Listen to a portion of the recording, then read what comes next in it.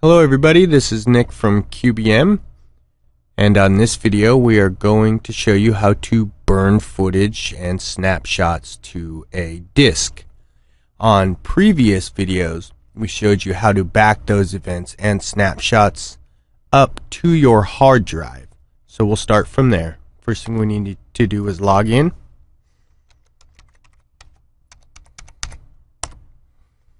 And then we can go ahead and just minimize GeoVision. And if you remember from the videos before, we went ahead and stored our footage and snapshots to the desktop. You can see them right here.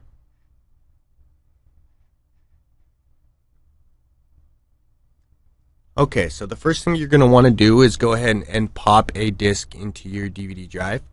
It needs to most likely be a CDR or RW in most cases. So we'll go ahead and pop that in. It'll take a few moments for the computer to recognize the disk is there.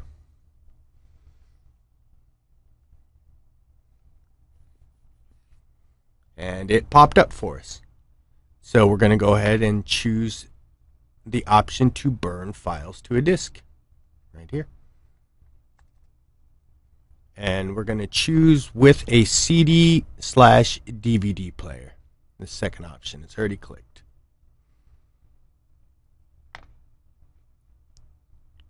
And we can go ahead and title the disk whatever we want.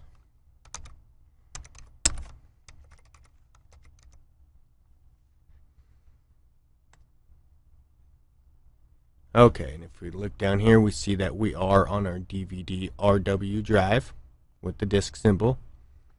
What we're going to do is go ahead and just drag our footage over to this open window and drop. Drag and drop.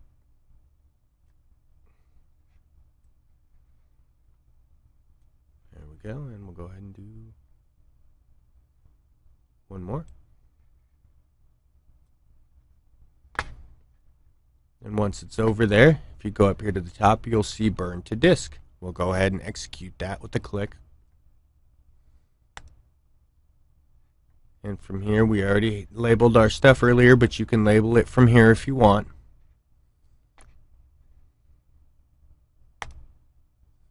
Now it's burning to our disk.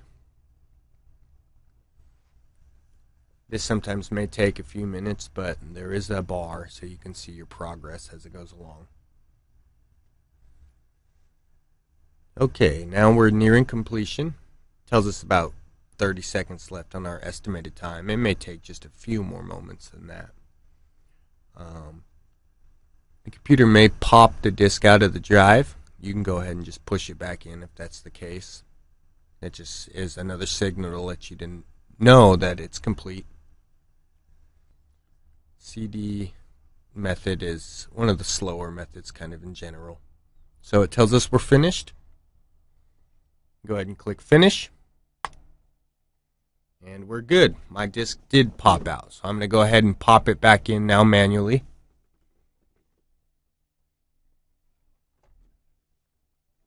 And we'll wait for the computer to read the disk.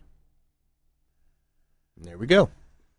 Let's go ahead and go to open our folder to view our files that we've burned to our disk.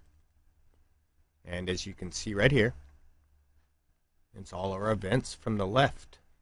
You can go ahead and click on one. And there we go. There's our snapshot from earlier. Our footage has been burned to a disk.